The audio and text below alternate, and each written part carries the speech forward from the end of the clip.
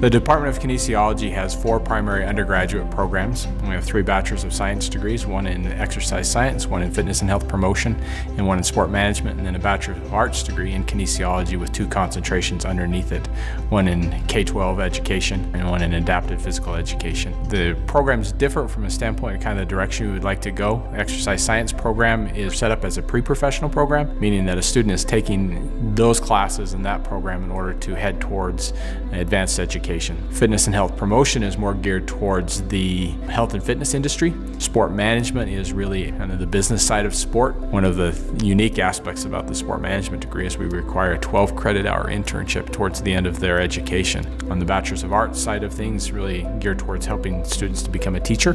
Some of the exciting things about kinesiology is really the opportunity to have a lot of hands-on experience doing different things.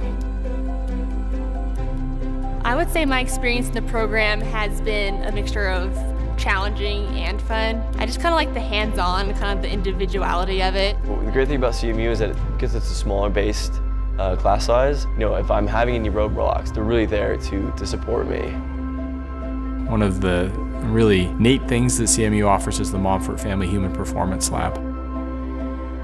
We got to use like the metabolic carts. We did like blood glucose testing. We messed around in the altitude chamber. Our lab gives actual researchers an opportunity to come in. So people will come into Grand Junction and use that facility to do their actual testing on professional athletes. It's super hands-on and the fact that any student can use it for free is incredible a great combination of challenging courses, but yeah, it's really hands-on, it's really fun. I think the curriculum, it's very structured and focused, so you can cater your classes to what you need. I think it's a, really exciting time in the Department of Kinesiology as we continue to see growth. We're excited for what the future holds for us.